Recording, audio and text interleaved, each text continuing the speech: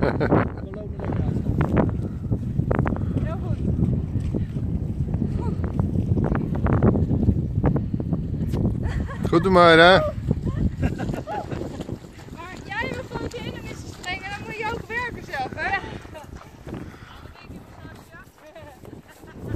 Goed belonen.